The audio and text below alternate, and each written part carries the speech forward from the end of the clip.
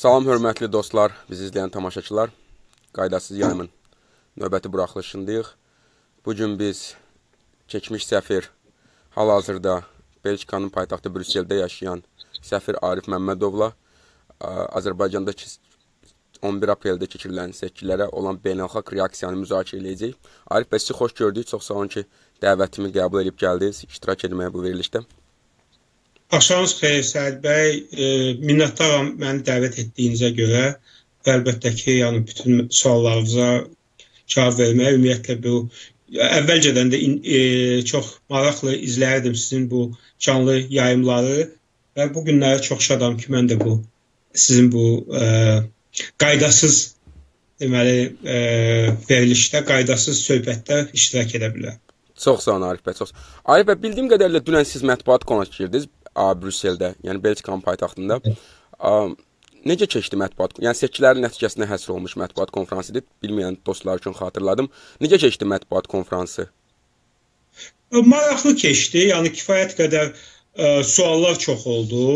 Ə, da, daha çox tutaq ki, həm tutaq ki, Belçika Xarici İşlər Nazirliyinin ilə gələnlər var idi. Bir neçə jurnalistlər var idi.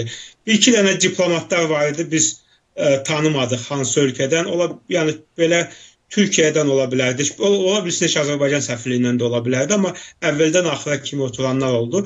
Ə, çox böyük maraq var idi və bir jurnalist artıq yəni bu seçkilərlə bağlı ə, məqalə hazırlayır və mənə müraciət etmiş. Sabahları onunla da görüşəcəyik.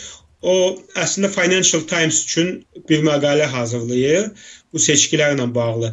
O əslində öncədən də bir iki dənə məqaləsi var idi. O, o cümlədən bu Kürd diplomatiyası ilə bağlı Hollandiyalı ə, ə, deməli əslində məmurda Avropa İttifaqında ə, aparıcı vəzifələrdə işləmişdi. İndi yəni ə, ə, deməli bax məqalələr yazır. O cümlədən ə, aparıcı mətbuat orqanlarında və ə, bu yaxınlarda yəqin Financial Times-da da bu seçkilərlə bağlı biabırçılıqlarla bağlı bir məqaləsi çıxmalıdır. İnşallah yəni ki, yaxınlarda yəqin onu da görəcəyik. Siz elə bu ə, məqalədən danışdınız. İndi mən də belə oxuyurdum bu beynəlxalq mətbuatı, ə, Azərbaycan seçkilərində olan beynəlxalq qiymətləndirməni ümumi məsələn Foreign Policy-də keçmiş səfir Amerikan Azərbaycana keçmiş səfir Richard Kazlariç ilə dövlət ə, katibinin keçmiş müşaviri ə, David Cameron birgə məqaləsi vardı. Onlar dedilər ki, Azərbaycandakı bu ilki seçkilər fars idi. Siz necə düşünürsüz? Yəni bu seçkiləri siz bir yəni keçmişdə, yəni Azər Əliyev hakimiyyətində təmsil olunan, sonra xalq Azərbaycan xalqının tərəfinə keçən, haqq ədalətin tərəfinə keçən bir səfir kimi necə düşünürsüz? Yəni bu ilki seçkilər sizin təcrübənizdə əvvəlki seçkilərdən nə ilə fərqlənirdi? Yəni Azərbaycan tarixində ümumiyyətlə yəqin müasir tarixində bu ə, ə, xüsusən bu 2000 ə, yəni İlham Əliyevin dövrünü deyə, yəni 2003-cü ildən sonra yəni ə, deməli demokratik seçkilər keçirilməmişdi. Yəni bütün seçkilər ə, müxtəlif yollarla və ə, müxtəlif ə, səviyyədə ə, saxtalaşdırılmışdı. Amma əvvəlki seçkilərdə tutaq ki, vəziyyət indikindən ə, kifayət qədər fərqli idi. Yəni ə, müstəqil mətbuat var idi ə, siyasi partiyaların qərargahları var idi və il, il, ildən ilə vəziyyət yəni daha pis istiqamətdə gedirdi və bu günləri ya, ya bu seçkilərə faktiki olaraq Azərbaycanda ə, əməlli başlı bir diktatura yaranıb. Yəni bu var idi kamuflaj, yəni diktaturaların növləri var da. Yəni yarım diktatura Azərbaycan diktaturasını bəzi insanlar, yəni kamuflaj diplom ə, ə, deməli ə, ə, demokratiyası adlandırırdılar. Yəni institutlar var idi, parlament, tutaq ki, məhkəmələr, amma ki bu kamuflaj formasını daşıyırdı. Amma yenə də hakimiyyət bu kamuflajı çalışırdı ki, bu kamuflaj ortalıqda qalsın da. Yəni bu kamuflajı yaratmağa çalışırdılar. Bu son seçkilərdə bunlar heç kamuflajı da ə, aradan qaldılar. Yəni çox çirkin şəkildə, çox belə ə, rəqabət olmaya olmaya belə ə, bu qədər saxtakarlığa yol verilmişdi və ən əsas tutaq ki, bu digər saxtakarlığa heç toxunmayaraq elə bu əsas məsələ odur ki, deməli Mərkəzi Seçki Komissiyasının bir də statistika komitəsinin deməli rəqəmlərində 2 milyona yaxın seçicilərin sayında fərq var. Və əlbəttə ki, bu hamıya çox gözəl anlayır ki, bu 2, 2 milyona yaxın seçicinin qeydiyyatda olması, bu yalnız bu da bir manipulyasiya etmək üçün ə, düşünülmüş bir ə, addımdır. Bunu və ə, o ki qaldı seçkilər, yəni bu seçki qabağından mən daha çox seçki qabağı mühitdən danışmışdım. Yəni müxalifəti ə, faktiki olaraq ə, küncə çıxması, ə, qərargahın əlindən alınması, Əli bəyin tutaq ki, Azərbaycanda aparıcı ə, siyasi partiya Xalq Cəbhəsinin ə, ofisinin əlindən alınması, Əli bəyin 3 dənə deyəsində mavinin həbsdə olunması. Yəni bu bütün bu ə, sədrin Əli bəyin özünün tutaq ki, ə, pasportunun əlindən alınması ki, bu ə, siyasi partiyanın ə, başçısı xarici səfərlər edə bilmir. Nəinki xarici, ölkə daxilində ə, ə, məhdudiyyətlər qoyublar. Yəni faktiki olaraq Əli bəy Bakıda ə, hərəkət etmək imkanı belə yoxdur. Ə, mitinqlərə gedəndə belə bunun dalınca tutaq ki, ə, müşahidə edirlər. Hər addım müşahidə. Və ona görə də əlbəttə ki, belə bir şəraitdə ə, siyasi mübarizə aparmaq qeyri ə, ciddidir, qeyri çox çətin, çətin şəraitdə aparılır.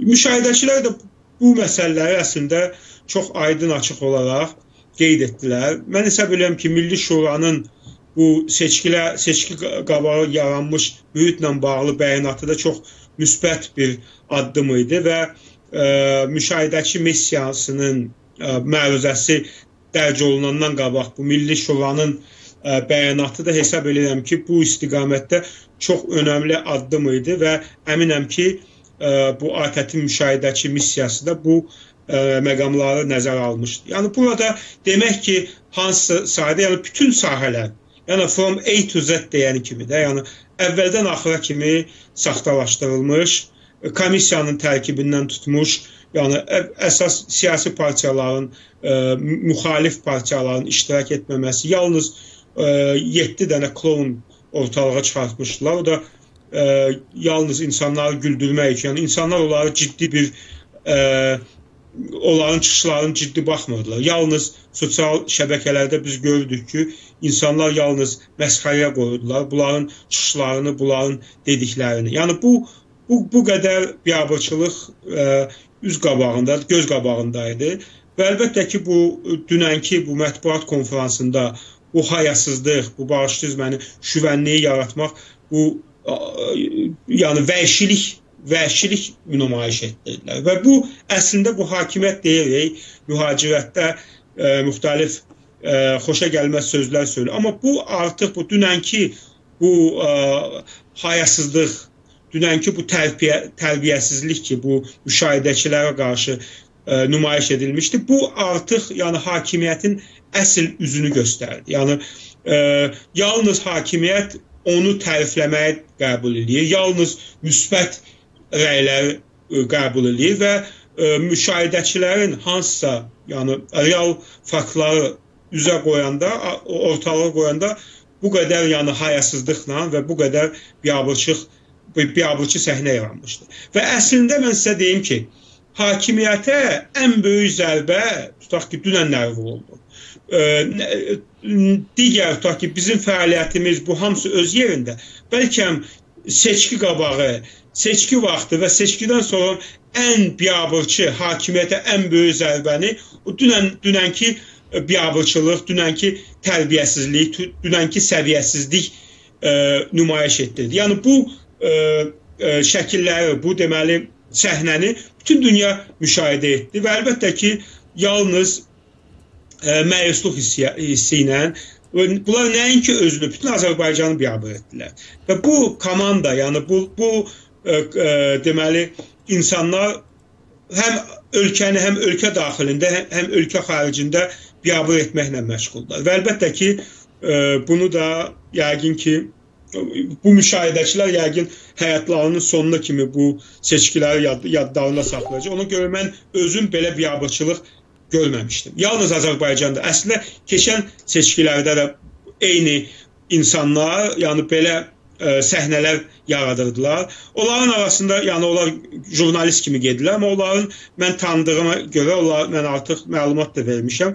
MTN-in işçiləri də var e, yəni polisdə qarşı o söz var və ifadə stukaçlar da var ki, orada qeydiyyatda olan insanlardır və bunların yəni işi gücü seçkidən seçkiyə bax belə səhnələr yaratmaq, ə, biabırçılıq etmək və ən böyük zərbə İlham Əliyevə, yəni seçki qabağı və seçki vaxtı, yəni müxalifət onsuz da blok ə, ə, ə, seçkiləri ə, seçkilərdə iştirakdan imtina etmişdi.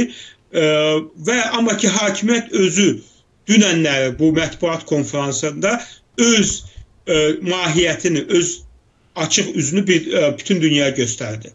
Razıyam sizinlə Arif bəy. Biz də elə bunun dünən də elə Əli bəylə, Azərbaycan Xalq Partiyasının sədri Əli bəylə, Əli Kərimi ilə müzakirə eləyirdi. Yəni həqiqətən çox acınacaqlı səhnələri idi. Mən də baxdım, ürək ağrıdan. Burada bəzi dostlar irad bildirirlər ki, yəni bizimlə eyni vaxtda başqa canlı yayımlar da var. Təəssüf ki, biz koordinasiya eləmirik, yəni bu yayımları. Yəni bu yayımların çox olması mən hər dəfə də öz çıxışlarımda deyirəm, əksinə çox xeyirdir. Yəni Azərbaycan insanı üçün xeyirdir, çünki alternativ informasiya vasitəsidir. Yəni insanlar bu gün Azərbaycanda telekanallar Azərbaycan xalqına yox, ailəyə, yəni hakim ailəyə xidmət eləyir. Azərbaycan xalqına a, pozğunluq, nə bilim, əxlaqsızlıq aşılayır. Yəni bu cür yayımların bizim etdiyimiz yayımlar kimi yayımların çox olması əksinə ziyan deyil, xeyirdir. Yəni ona görə ə, canlı baxa bilmirsiniz. Yəni bu yayımlar sonra bir çox səhifələrdə paylaşılacaq, YouTube səhifəsində paylaşır. Sonrasında, yəni sonra baxa bilərsiniz. Vacib deyil canlı olsun. Yəni əsas odur baxın, izləyin, yəni alternativ, yəni başqa insanların fikirlərini dinləyin. Arif bəyin də fikri çox önəmlidir. Ən azından ona görə ki, Arif bəy uzun müddət Əliyev hakimiyyətində çalışıb və o bizdən mən şəxsən məndən İlham Əliyev hakimiyyətini, yəni o orada çalışan insanlar məndən yaxşı tanıyır. Yəni bir çoxlarını yaxşı tanıyır. Elə ona görə də istəyirəm Arif bəylə dünənki mətbuat konfransında toxundunuz. Dünənki yəni ATƏT-in ATƏT-in rəyinə sizin münasibətinizi bilmək istəyirəm. Yəni siz dünən açıqlanan rəyə. Bir də ki o mətbuat konfransında baş verənləri belə daha abırlı şəkildə bu hakimiyyət edə bilməzdimi? Yəni bu, yəni o siz də stukaçlar dediniz, jurnalistlər, nə bilim, danos yazanlar, o bu adamlara ən yaxşı adı Rusiyada rəhmətlik müxalifət lideri rəhmətli Boris Nemtsov vermişdi. Ən yaxşı adı. Mən tabii bunu təkrarlamıram. Öz tək olanda öz müəllif verilişimdə deyərəm. Amma yəni ən yaxşı adı o adamlara o vermişdi. Yəni daha abırlı, yəni bu hakimiyyətin, yəni samballı adamları bunlardırmı? Yəni bu Səs qəzetinin baş redaktoru, nə bilim Yeni Azərbaycan, yəni bu hakimiyyətə yaxın olan mətbuat orqanlarının, nə bilim adamlara jurnalist demək olmur. Yəni nə simalarından jurnalistlik yağır, nə danışıqlarından, heç normal danışıq tərzləri də yoxdur. Ki, ingilis dilində bilmirlər, rus dilində biri danışmaq istəyirdi, ki, nə rus dilində normal danışa bilmirdi. Yəni daha bu daha samballı formada bu etirazı daha samballı formada, nə bilim diplomatik dillə bağlı qapılar arxasında etmək olmazdımı? Yəni bu nə, nə vacib idi bu haşüvənliyə? Yəni buna düşmənlər də baxır. Yəni ayıb düzdür. Yəni ki, mən sizlə razıyam. Yəni ki, ə, əslində ə, bunu hakimiyyət düşünülmüş şəkil. Yəni bu hakimiyyət ə, bütün dünya ilə belə üsullarla ünsiyyət edir. Də yəni siz görürsünüz tutaq ki, Avropa parlamentində ə, qətnamə qəbul olunanda ya Amerika senatında bu sanksiyalarla bağlı hansısa ə, e, deməli ilkin sənəd təqdim olunanda yəni bu hakimiyyət bax belə çirkin yollarla haykü salır. Avropalılar şoka düşürlər. Bilirsiniz bu əslində bunlar ölgəşməyiblər axı belə tərbiyəsizliyə. Yəni burada ümumiyyətlə belə bir burada ən belə kəskin ə, e, deməli ə, e, belə müzakirə olan vaxtı belə insanlar e, bir-birinə hörmətlə yanaşırlar. E, ilk növbədə tutaq ki, əks tərəfin fikrinə hörmətini ifadə edirlər. Sonra da deyirlər ki, bax tutaq ki, biz sizin bu e, məqamdan razı deyilik və xahiş edirik ki, bunu nəzərə alasınız. Və hesab edirəm ki, hakimiyyət tutaq ki, bunu belə formada, bu cür formada eləsəydi, bu daha hakimiyyətin xeyrinə olardı. Amma bu hakimiyyət hər şey hayasızlıqla, belə şüvənliklə, belə biabırçılıqla həll eləyir. Yəni siz yadınızdadır Avropa parlamentində ə, ə, deməli qətnamə qəbul olunandan sonra ə, eyni cürə, yəni o parlamentdə olan tutaq ki, onlar ki jurnalist deyillər axı, güya ki millət ə, vəkilləridir də. Yəni bəziləri kifayət qədər savadlı insanlardır. Yəni hansısa universitetlərdə oxuyublar, eləyiblər. Amma siz görürsünüz ki, bu hakimiyyətin qarşısında eyni insanlar özlərini bax bu dünənki bu hay hayasız jurnalistlər e, dırnaq arası jurnalistlər kimi aparırlar. Parlamentdə də belədir. Yəni hakimiyyətdə mən sizə deyim, yəni ki, demək ki, düşünmək ki, hamı axmaq, yəni bu səviyyədədir, belə deyil. Ancaq bu bu hakimiyyət, yəni indiki rejim bu bax bu cür üsullarla idarə edilir və bu cür insanlara arxalanır. Ona görə ki, eyni zamanda siz baxınız görürsünüz, parlamentdə kifayət qədər orada savadlı, mən sizə deyim, yəni kifayət qədər orada savadlı insanlar da var. Yəni xarici dil bilən, ə, e, yaxşı təhsil almış insanlar. Siz görürsünüz, onlar ə, e, sakit oturublar, səslərini deməli çıxartmırlar. Nəyə görə ağıllı insan, normal, yəni normal düşüncəli insan bu rejimə belə dəstəkləməz. Ona görə ki, ağıllı insan başa düşür ki, bu biabırçılıqdır. Yəni bunlar sabah öz sabahını da düşünürlər. Yəni bu e, bilirsiniz o ağılsız insandır ki, bu günləri bütün o deyirlər bütün yumurtaları eyni səbətə yığmaqdır. Ona görə bu e, normal düşünən insan anlayır ki, bu hakimiyyət davam etdirilə bilməz. Yəni bunun mə mənim zənnimcə bula, bu hakimiyyətin indiki bu seçkilərdən sonra İlham Əliyev üçün ən ağır məqam indidən sonra başlayır. Ona görə ki, yəni yenidən güya ki seçilibdi. Ə, yenidən yeni bir müddət başlayıb, amma ki problemlər daha da gündən günə daha da mürəkkəbləşir. Ə, eyni zamanda dünyada baxız görürüz artıq bu şəffaf şəffaflıq inisiativalar, bank sistemində şəffaflıq ə, deməli təşəbbüslər tətbiq olunur. Ə, ə, ə, yəqin oxudunuz Böyük Britaniyada Azərbaycan səfirliyinin hesabı hesabları bağlan bağlanmışdı. Mülkiyyətinə artıq ə, ə, nəzarət mülkiyyət ə, nəzarətə alınıbdı. Ə, məmurların yəni Londonda ə, mən bilirəm ki, ən azı 4 dənə məmurun e, deməli mülki mülkiyyəti araşdırılır bu hansı yollarla mülkiyyətlər alınıbdı və bu artıq e, yeni dünyada bu yaranmış vəziyyət bunları küncə sıxır. Mən əminəm ki, bu biz deyirik böyük milyardlarla pullar var. Ha. Onları mən əminəm ki, 70-80% bunlar batıbdır. Ona görə ki, artıq mən sizə siz yəqin bilirsiniz də Avropada da belədir gedib banka 2000 pul qoyanda səndən arayış istəyirlər ki, bu 2000-i sən hardan gətirmisən? Sən maaşın nə qədərdir? Yəni bu 2000 ə, avronu hesaba qoyanda ə, e, artıq ə, ə, e, məktub gəlir ki, xahiş edirik bu 2000 pulun ə, hardan siz, sizdə ə, əldə etdiyinizi bizə bildirəsiniz. Ə, əvvəllər belə deyil idi. Yəni əvvəllər ə, bu bu sahədə də e, tələbəylik idi. Bu günləri dünya dəyişibdi və e, bəs e, mən 2000-dən deyirəm.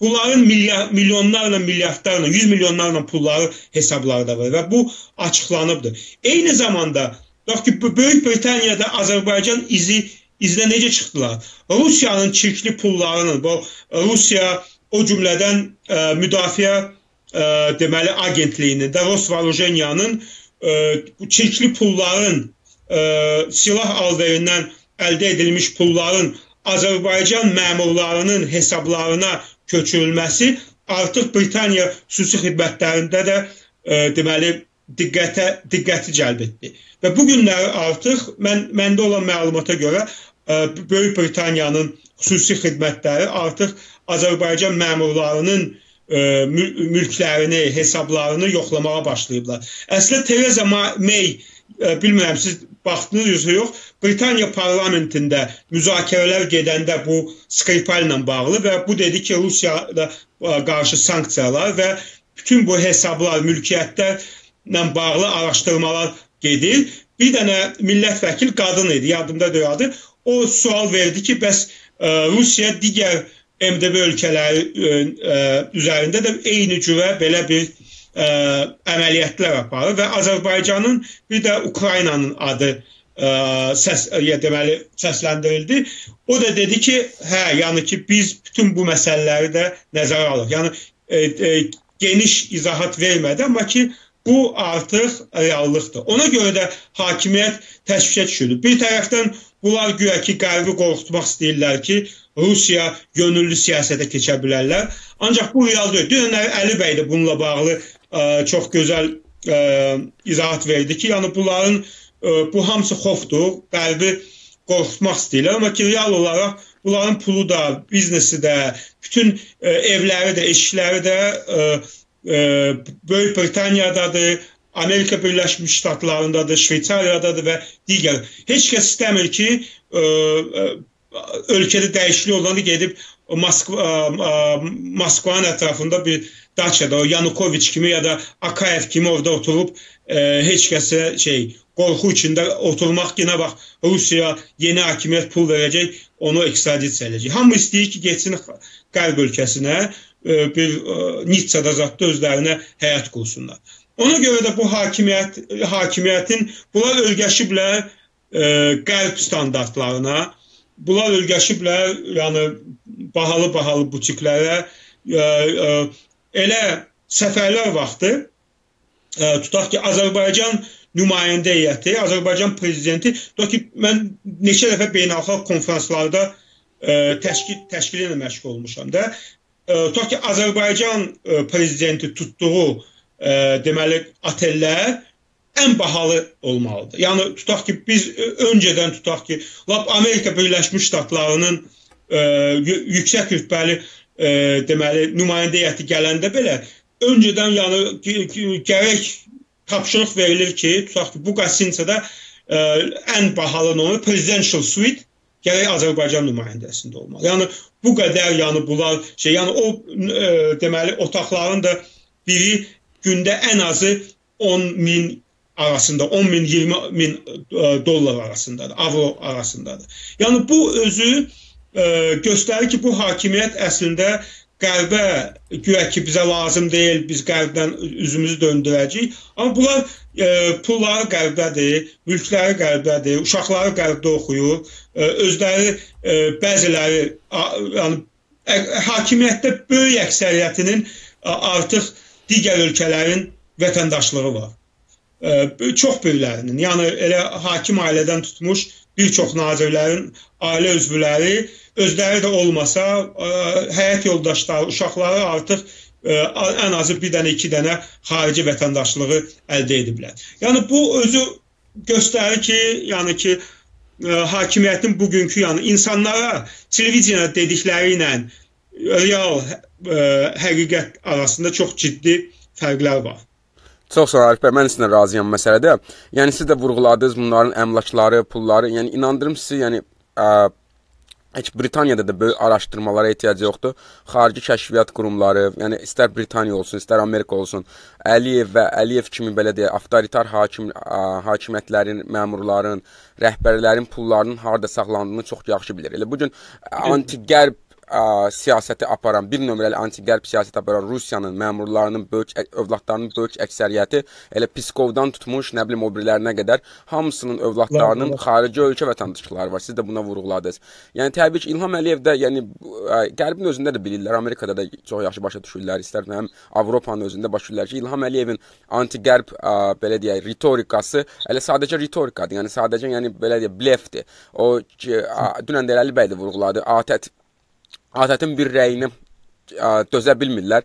Nəm de deyir ki, MDB-ni gücləndirəcək, necə?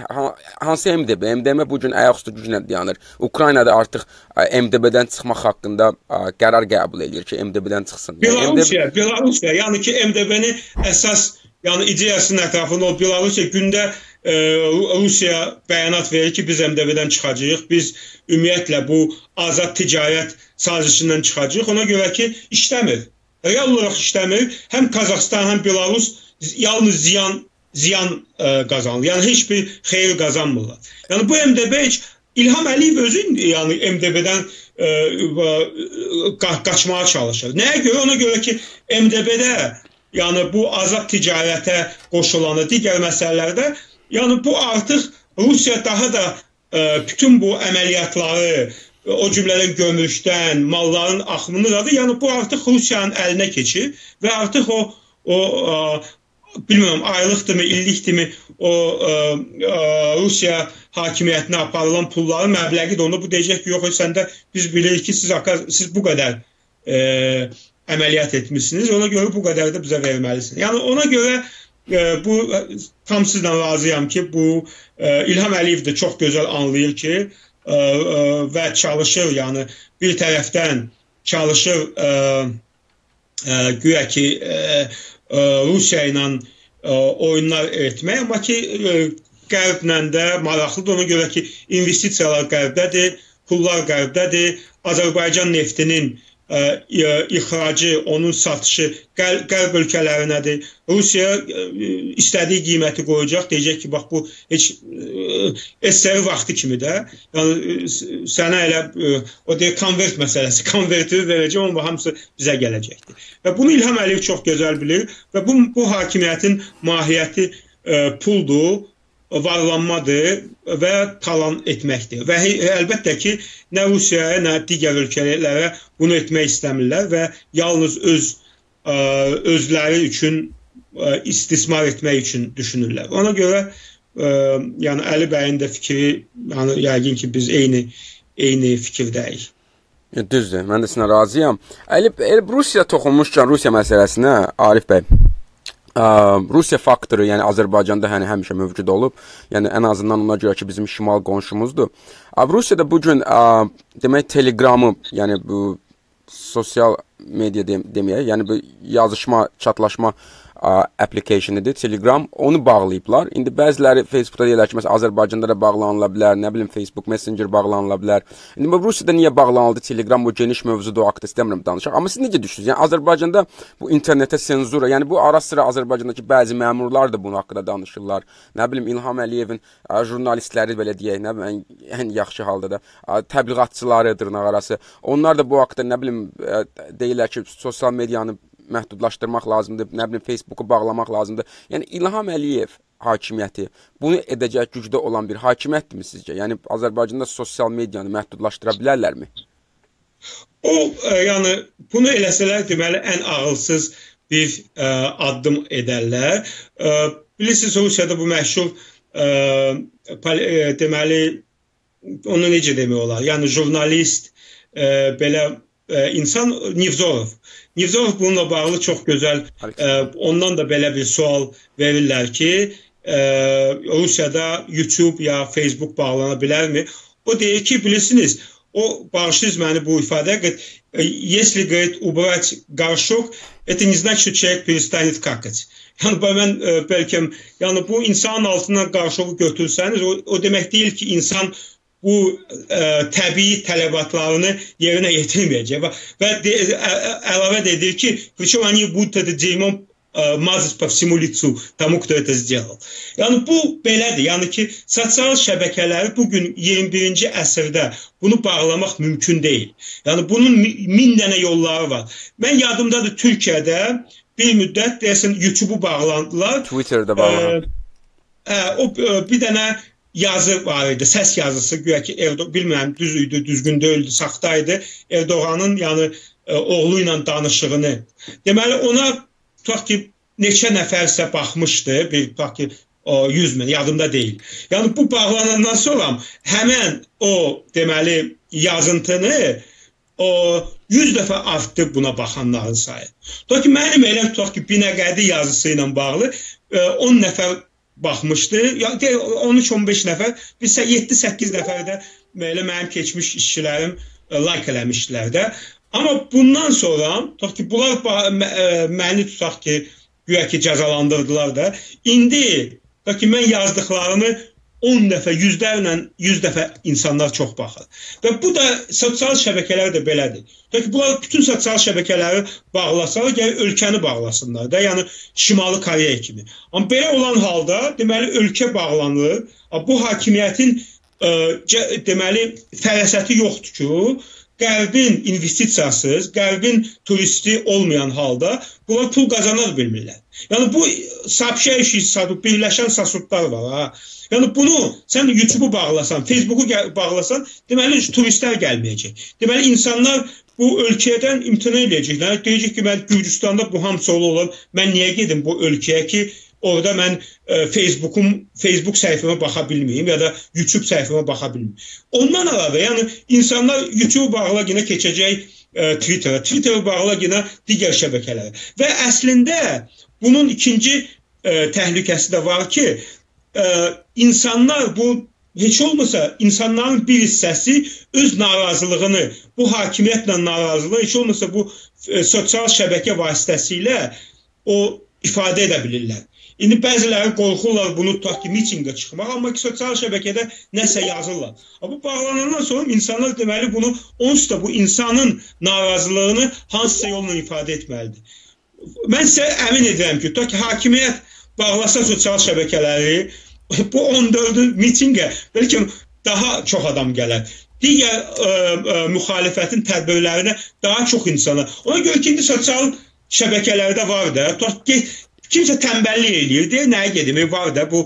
O biri var futbola deyir şey gedib stadiona kimsə tənbəllik eləyir, deyir mən gedim bilet alım, o qədər pul xərcləyim, yola gedim, orada çıxandan sonra tıxacda, tıxacdır, problemlərdir, xuliqanlarla rastlaşa bilərəm, kimsə dava düşər, uşaq yəni təhlükə yarana bilər. Evdə oturmuşam, açıram sosial şəbəkəni baxıram. Amma bu olmayan halda maraqlananların sayı da artacaqdır. Mən tutaq ki, bəlkə də e, bir çox insanlar bunun istəyərlər. Bəlkə də bu, bu müsbət bir şey ola bilər ki, insanlar e, daha çox bu fəallığı, bu narazılığı ifadə etmək üçün meydanlara çıxarlar.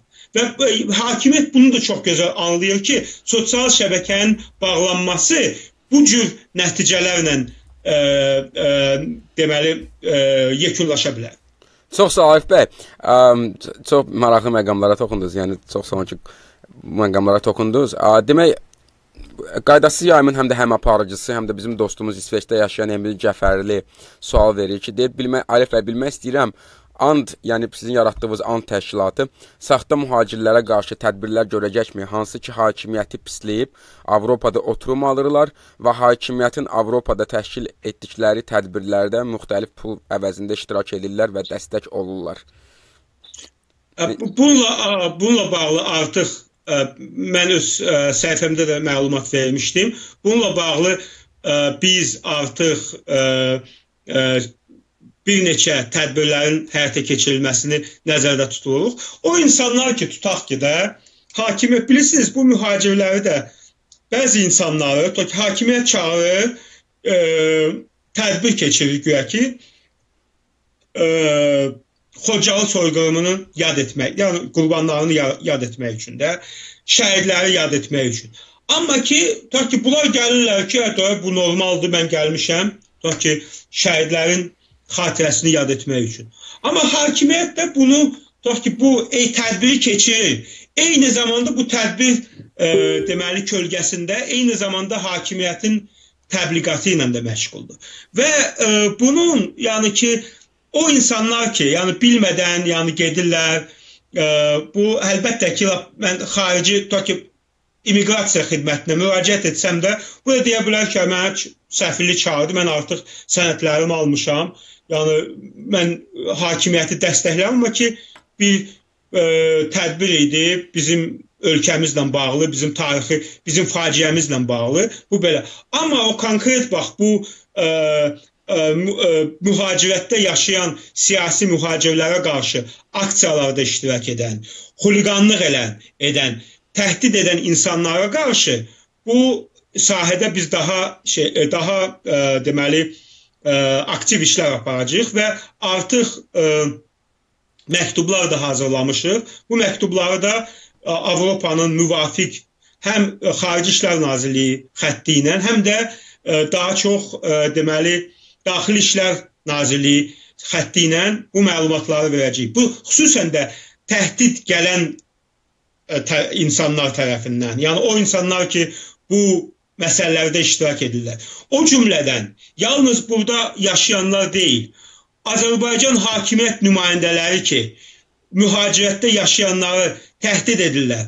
Onları e, tutaq ki, hansısa e, şantaj edir, onları söyürlər. O insanları da artıq biz tələb eləyəcəyik ki, o insanlar bizə burada e, normal yaşa yaşamağımıza, mühacirətdə olmağımıza ciddi problemlər və bizə ə, e, təhdid edirlər. Bu insanlara da qarşı artıq viza qadağanı qoymaq məsələsində ə, e, biz qoymağa başlayırıq ki, bu insanlar Avropaya ə, Şengen zonasına girməklərinə qadağa qoyulsun. Və mən hesab edirəm ki, bunu biz 3 nəfər, 5 nəfər, yəni bu son biabırçılıqları yəqin bilirsiniz də, artıq ə, əməlli başlı provokasiyalarla məşğuldur və bu insanları ə, ölkədən, yəni burada yaşayan, Avropada yaşayan ə, bu cür insanları ə, ölkə yəni ə, Azərbaycana getsinlər orada müdafiə etsinlər də. Bulvarda bu konsertlər, bu salutlar gözəl-gözəl burada deyirlər də, orada ə, çox gözəl şəraitdir. Getsinlər istədikləri ə, ə, hakimiyyətə orada xidmət eləsinlər. Burada nəyə gəliblər onda? Yo, deyə, Arif bəy, bunu deyəsən Ərdoğan hakimiyyətindən öyrəndilər. Bu Ərdoğan hakimiyyəti də bu İlham Əliyev sevir də başqa diktatorların belə deyək, tökdüklərini götürməyə, yalamağa, nə bilim, onlardan copy paste eləməyə. Məsələn, Putinlə əvvəl baxırdılar, Putin nə qərar verirdi, üstündən biraz keçmirdi, Azərbaycanda tətbiq olunurdu bu. İndi bunun analoji, yəni şey Ərdoğandan. Ərdoğan da yəni bu seçkilərdən qabaq pafoslu pafoslu gəlmişdi, nə bilim, Almaniya Hollandiya sərhədini keçməyə cəhd edirdilər, nə bilim, tədbirlər keçirdilər, ə, pafoslu çıxışlar eləyirdilər. İndi deyəsən bunu da ə, Ərdoğan qardaş, böyük, böyük qardaşlar Ərdoğandan öyrəniblər. Ə, mən belə düşünürəm. Amma təəssüf ki, yəni Avropadakı siyasətçilərin və Avropadakı qurumların reaksiyası da sərt deyil. Yəni mən məsələn bir neçə fakt gətirəcəm. Yəni mən həqiqətən düşündürən məsələdir. Mən bunu ə, hər dəfə də vurğulayıram öz verilişlərimdə və sərt tənqid eləyirəm. Yəni Məsələn, Hollandiyanı götürək. Hollandiyanın iki vətəndaşı. Bir, ə, yəni tanınmış bloger Orduxan. Orduxanı demək, ə, nədir, valideynləri, qohumları, bacısı, nə bilim, adamları nə gündə evinə getdilər, adamdan 100 dəfə imtina etdirdilər, polis bölməsinə apardılar, Müsavat qəzetinə çıxartdılar. Müsavat indi Əliyevlərin yeni ruporuna çevrilib. Əvvəl Astevezdə çıxardılar, indi Müsavata çıxardılar. Sonra ikinci vətəndaş, bizim hamımızın dostu, tanınmış jurnalist Fikrət Hüseynli. Adamı yəni Ukra Ukraynada ilişdiriblər. Yəni Ukraynada neçə vaxtı qal Ukra oktyabr ayından adam Ukraynada faktiki Əliyev hakimiyyətinin girovuna çevrilib. Adamı hədələyirlər ki, sən gətirəcək Azərbaycana, sən başqa belə oynatacağıq. Nə edəcəyik? Ukrayna hakimiyyəti çox sağ olsun, demokratik prinsiplərə sədaqətini çox gözəl nümayiş elətdirirlər. Dırnaq arası və Əliyev hakimiyyətinin təmiz belə deyək də oturublar ciblərində. Yəni onlarla əməlli başlı əməkdaşlıq eləyirlər. Fikrəti, yəni adamı əməlli başlı incidirlər. Yəni adam buraxmırlar. Yəni bu Holl bu Hollandiyanın nümunəsidir. Yəni Hollandiya iki vətəndaşın ilə bağlı olan məsələdə, yəni birini şantaj elədilər öz qohumları ilə, əqrabası ilə Hollandiyada otura-otura. O birisini də ki Ukraynada saxlatdırıblar. Məsələn, Hollandiya, məsələn, niyə belə zəif ə, reaksiya var? Hara baxır, yəni Hollandiya hakimiyyəti, Avropa Birliyi, yəni öz vətəndaşları niyə belə zəif? Siz necə siz də orada yaşayırsınız, Avropada yaşayırsınız. Mən inanmıram ki, məsəl üçün analoji şey Amerikadakı yaşayan ə, bir aktivist, Amerika vətəndaşı olan bir aktivistin başına gəlsə, Amerika hökuməti və yaxud da konqresindəki adamlar və yaxud da senatdakı adamlar buna belə, yəni bu səviyyədə zəif, bu səviyyədə susqun yanaşardılar. Siz, sizcə nədir burada?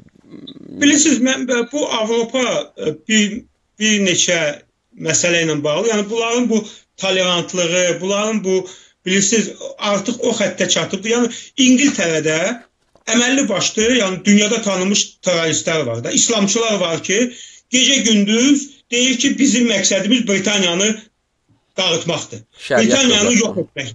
Ha? Şəriət dövləti qurmaqdır o günə e, Britaniyada şəriət dövləti. Britaniyanın küçələrində gəzirlər və e, Britaniya vətəndaşlarına deyirlər ki, sən e, xahiş edirəm get evinə, tutaq paltarını dəyişkinə. Kişi xeylarını çağırırlar ki, o yanında qızla gedirsən, onu xahiş edirəm deyirəm ki, bacıya özünü yaxşı aparsın. Yəni bu amma bu qərb bunu qəbul edir. Yəni bunlarda bu tolerantlıq artıq tam belə anlaşılmazlıq bir vəziyyətə gəl gəlib gətirib çıxarıbdı. Öz vətəndaşlarını belə, yəni bunlar bilirsiniz, belə ə, hayasız hakimiyyətlərdə bundan istifadə edirlər. Amma artıq bu dəyişməyə başlayıbdı.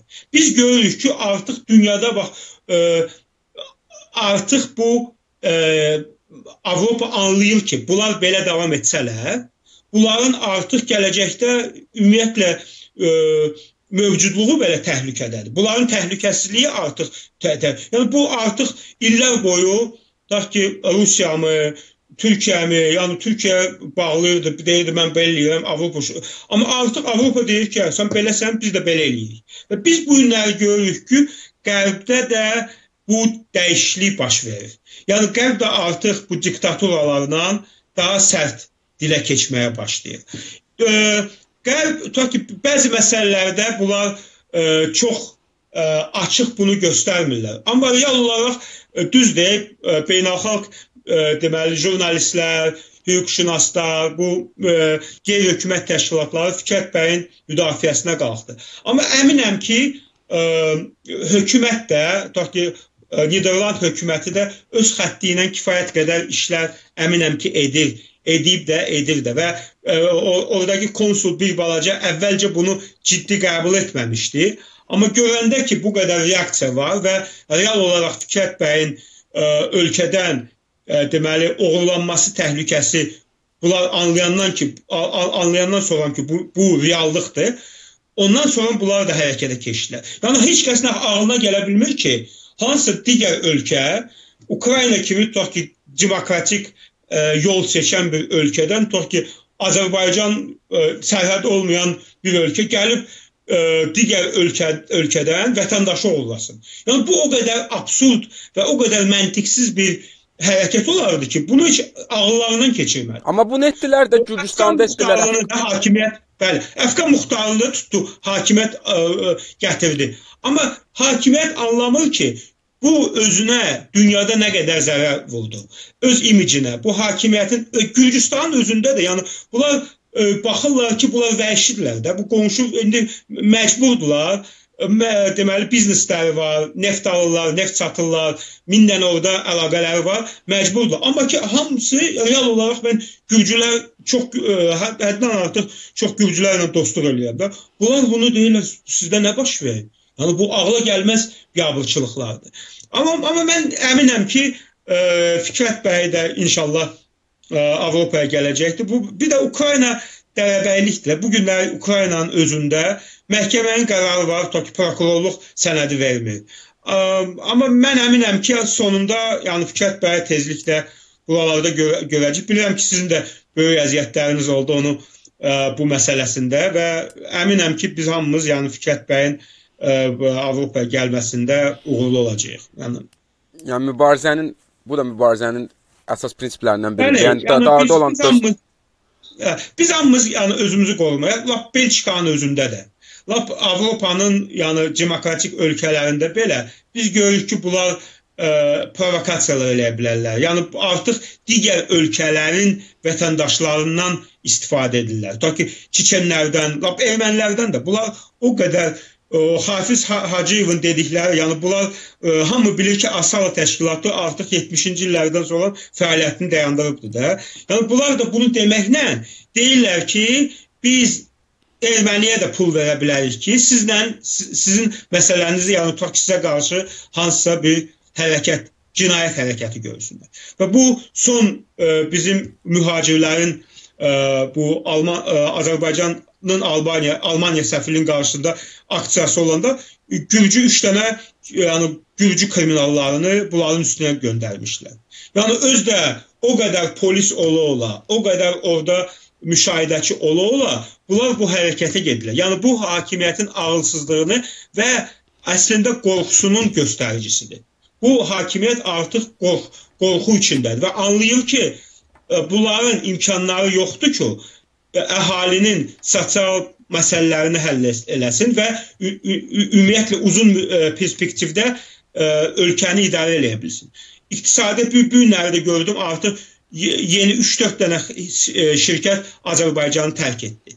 Bir dənə bir dənə az çox bir dənə BP işləyir. Digər şirkətlər ölkəni tərk etməyə davam et, etdilər. E, bank sistemi bilirsiniz ki, çökməkdədir. Və bu, bu belə bir şəraitdə ə, artıq pensiyalar, yəni təqaüdləri bunlar belə bunlar vaxtı-vaxtında verə bilmirlər və İlham Əliyev çox gözəl anlayır ki, bu hələlik başlanğıcdır. O Churchillin gözəl sözü var, deyir ki, ola bilsin ki, bu hələlik son deyil. Bəlkə heç sonun başlanğıcı da deyil, amma bu başlanğıcın sonudur. Yəni və hesab edirəm ki, bu 11 ə, aprel biabırçılığından sonra bu sonun başlanğıcısı olacaqdır. Sonu başlanğıcın sonu, yoxsa başlanğıcın sonu. bu elə son da demək olar ki, Arif bəy. Yəni hə, artıq sona Əliyev erası da sona çatır. Elə bu belə deyək, pərt olunmuş pərt vəziyyətdə keçirilən bu konsertlər, atəşfəşanlıq da onu deməyə əsas verir ki, adamlar özləri də sonlarının çatdığından xəbərdardırlar. Təşəkkür edirəm Arif bəy ki, qoşuldunuz bizə. Çox sağ olun Sərb bəy. Minnətdaram ki, hər zaman belə maraqlı verilişlərinizdə iştirak etməyə Ye hazırlam. Çox sağ olun indi. Sağ olun. Hə. Dostlara uğurlar arzulayırıq. Çox sağ olun Arif bəy. Biz sizə uğurlar arzulayırıq. Yəni fəaliyyətinizi izləyirik, dəstəkləyirik, yəni təmasda olaq. İşte dostlara xatırladım ki, bu verilişdən sonra, yəni təqribən bir 20 dəqiqə sonra bir də qayda siyamə çıxacağıq. Bu dəfə 14 aprel mitinqini və mitinqlərə niyə çıxmaq lazımdır, nə cür etiraz etmək lazımdır mövzusunu müzakirə edəcəyik. Yenə çox sağ olun Arif bəy, təşəkkür edirəm. Bir da elə siz dediniz ki, bu 14 ə, ə, aprel mitinqinə bütün Azərbaycan öz ölkəsinə sevən insanları öz ölkəsinin gələcəyinə biganə olmayan insanları 14 mitinqə miting 14 aprel mitinqində fəal iştiraka çağırır. Bu çox vacib, önəmli məsələdir. Hakimiyyət görsə ki, Azərbaycan xalqı öz etirazını bildirir. Bu biabırçılıqlara, bu özbaşınalıqlara öz etirazını bilir. Nə desə, nə, nəsə dəyişə bilər. Bu bu mitinq tutaq ki, Xalq Cəbhəsinin mitinqi deyil, Milli Şuranın mitinqi deyil, Musavatın mitinqi deyil. Bu ümumxalq mitinqidir. Bu mitinqə öz siyasi baxışından asılı olmayaraq, öz hansısa siyasi partiyaya ə, daxil olmağından ya olmamağından ə, asılı olma hər bir vətəndaş ölkəsini, vətənini, öz gələcəyini düşünən insan, öz uşaqlarının, nəvələrinin gələcəyini düşünən insan bu mitinqə gəlməlidir və bütün ə, Azərbaycanlıları bu mitinqə dəvət edirəm və xahiş edirəm ki, hamı iştirak eləsin. Çox sağ olun Arif bəy, çox sağ olun. Sağ olun. Sağ olun. Sağ olun. Minnətdaram. Sağ olun.